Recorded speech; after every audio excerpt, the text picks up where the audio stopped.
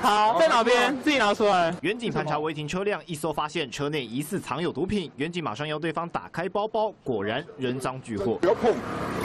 有没有用过？不要碰，你针头不要碰。远警顺利找到毒品，事后也依现行犯将车内三人逮捕，但法官却逆转放人。事发就在北市中山区林森北路，二号凌晨四点多，宋姓男子等三人因为交通违规遭到拦查，一查三人都有毒品前科，警方随即进行附带搜索，果然在车内保温杯底部搜出一包包白色毒品，三人被依现行犯逮捕，但他们认为警方未经同意搜索，全都申请提审。法官当庭勘验远景密录器，确实没录到三人同意搜索，认定逮捕过程不合程序，当庭裁定。三人释放。本分局认为尊重法官之判决，将在精进远景执法技巧，为本案持有毒品部分，仍将依法侦办。实务上盘查中无搜索票，远景要使用同意搜索，也必须取得书面同意或是录下对方口头同意。当天三名远景佩戴的密录器，两只损坏，一只疑似距离太远没录到，程序瑕疵让毒贩遭到释放。警方密录器妥善程度，恐怕还得重新检视。这张是由涛台北采报道。